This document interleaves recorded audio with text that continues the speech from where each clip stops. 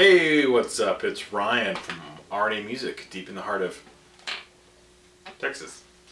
And uh, here's another guitar of the day. Guitar of the day. Boom.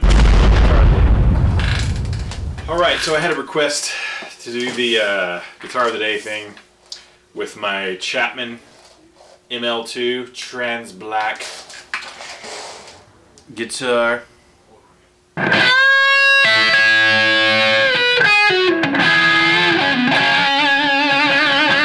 Now, hopefully you've seen some of my other videos. Uh, I actually have an unboxing video where I'm opening it up for the first time and playing it and all that. I was very excited. So excited.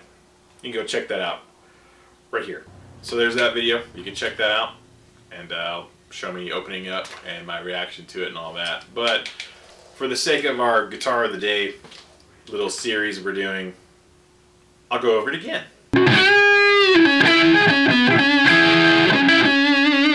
Rob Chapman of the YouTube fame, the Monkey Lord, as you may know him, um, has a guitar company called Chapman Guitars. The thing that's unique about Chapman Guitars is that all of the uh, models, pretty much, except for signature ones, all of the uh, guitars so far are collaboratively designed, which means they're voted on by the public. Basically, he takes, he opens up his website, and everybody gets a chance to vote on uh, the body shape, uh, the pickup configuration, specs, like how many frets it is, um, what kind of wood.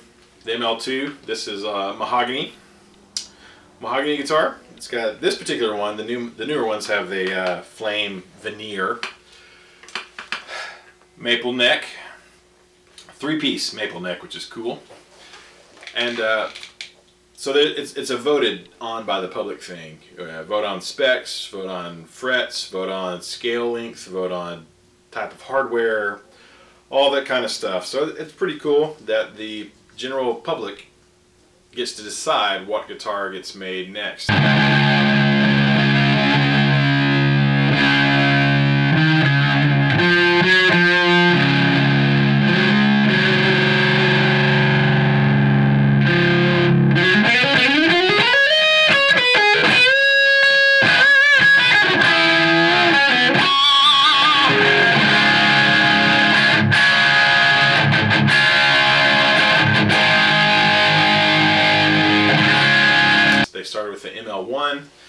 Uh, which is a Strat style double cut, you know, S-type guitar.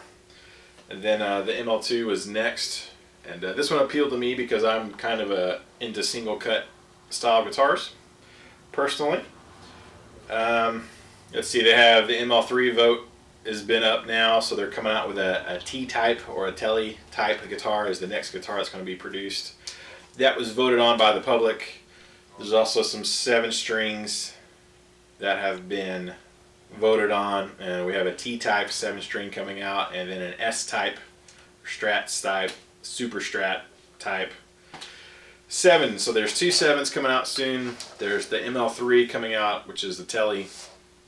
Uh, beyond that, there's they had uh, Rob's personal signature guitar, which is a a T-type, but with a carved top and some other things that probably won't come on the ML3. And then uh, Rabi- Massaad uh, has a signature guitar that's pretty sweet. And then Lee Anderton, who's um, basically one of the partners who makes Chapman guitars run, um, has a signature guitar based on uh, one of his favorite guitars.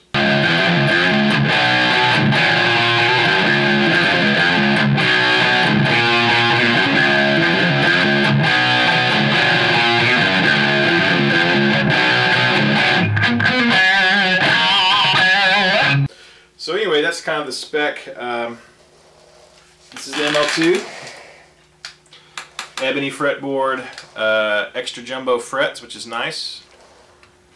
Maple neck. It is a set neck. Nice uh, cutaway here. It's kind of scalloped, um, contoured. I would say it, it's kind of odd because it doesn't really feel like a Les Paul. Because you look at it and you think, hey, it's a Les Paul type guitar. It's not really uh, like a Les Paul. I mean, it's a single cut, but that's about it because it's got 24 frets. Um, the scale is 25 inches, which is a bit odd for me. I'm used to 24 and 3 quarter inch scale guitars. That's all I've ever owned. That's all I've ever played for 20 something years, 25 years. uh, is 24 and 3 quarter inch scale. So for me personally, getting used to a, a 24 fret guitar that's 25 inches, it, it requires a little uh, adapting on my part. I have to kind of adjust for it. Um, we got Chapman humbuckers, uh, the Guitarnivore humbuckers, which are, you know, signature, not signature, they're um, basically the Chapman model pickups. We've got a volume, volume, volume, tone, volume, volume, tone, and then the tone knob is also a push-pull thing so you can go between uh, humbuckers and then coil taps or split or whatever you, whatever, tap split, split tap, whatever it is. So there's uh, the Chapman ML2 in a nutshell. I'm in a nutshell. But um, more information, of course, there's you can go to Chapman Guitars, go to their website, check it out. Uh, there's a bunch of videos about them. You know, Rob's made a bunch of videos.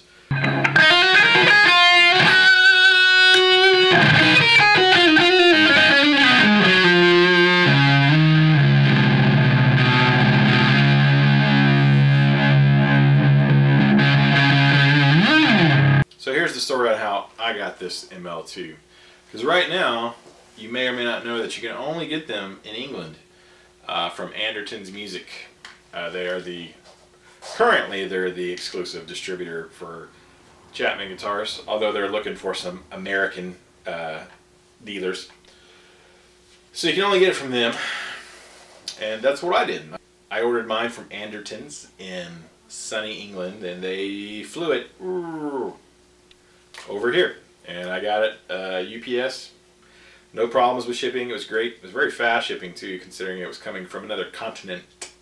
This is probably the first guitar that I've bought brand new and like paid, you know, regular brand new guitar pricing on in a really, really, really long time.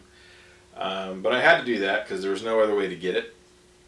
You know, there weren't any really used ones out. This is the first. This is the first batch of the new Korean um, specked out higher end guitars and you know, so I had to buy a brand new.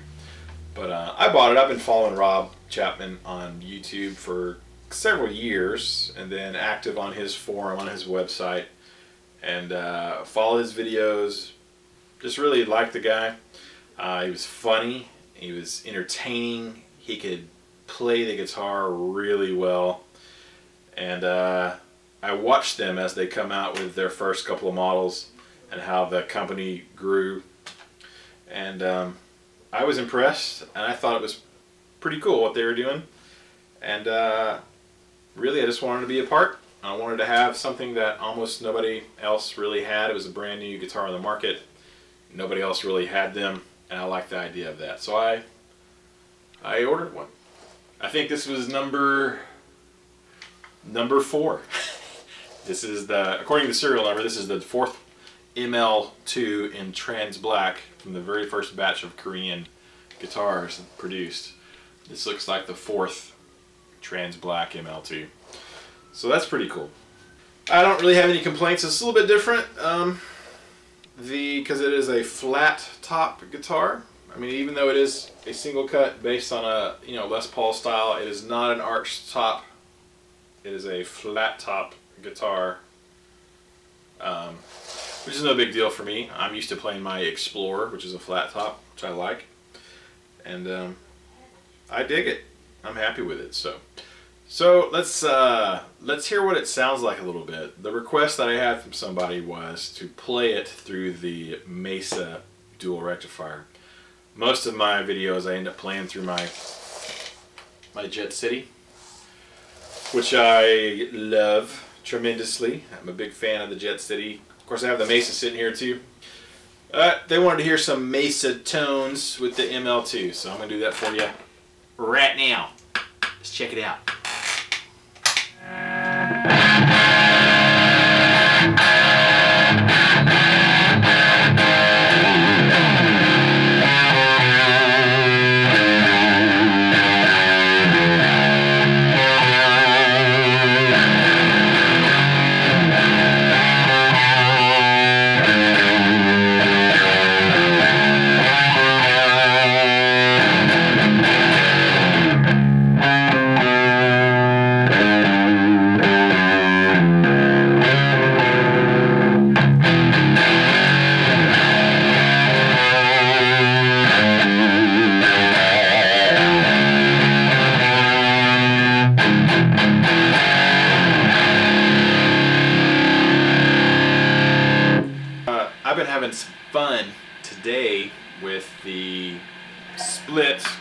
Coil coil split, whatever it is. I don't care.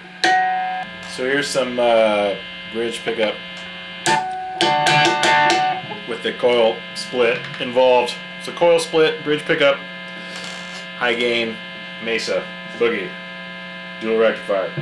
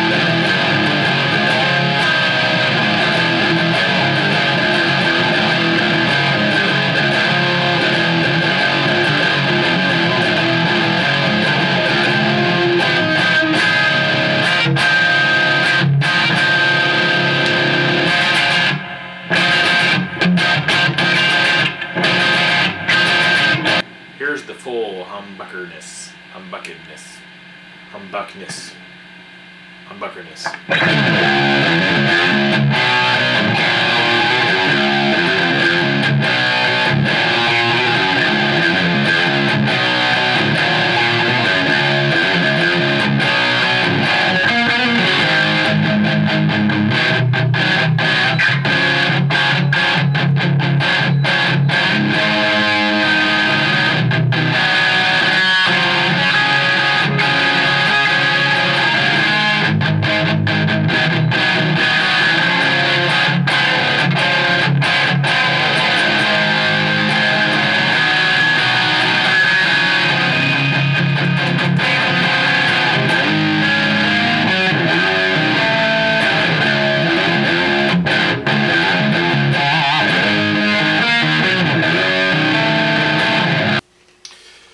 So there were some uh, Chapman guitars, ML2 for you. Um, I like this guitar. I'm a big fan of Chapman guitars and what they do, and what they stand for, and kind of what they're bringing to the market.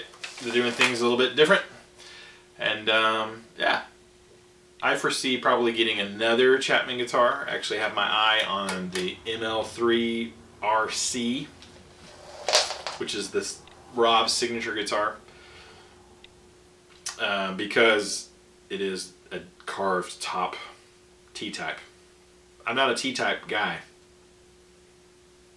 but something about that carved top on a telly is really sweet. I'm a sucker for carves and carbs. okay, so I hope you enjoyed my guitar of the day with the uh, Chapman ML3 through the Mesa this time, and. Um, thanks a lot for watching. It really means a lot that you guys watch what I do and subscribe and leave me comments and that kind of stuff. So I really, really, really appreciate it. Thank you so much. Keep the music alive. See you soon.